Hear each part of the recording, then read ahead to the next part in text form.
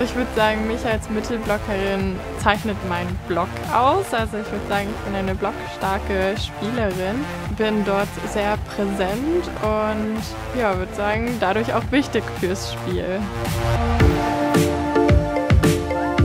Ich bin zum Volleyball gekommen, mehr oder weniger durch die Schule. Und dann bin ich durch einen Zufall, weil mein Bruder auch Leistungssportler ist, der ist Handballer, entdeckt worden aufgrund meiner Größe. Und dann wurde ich nach Schwerin eingeladen zum Probetraining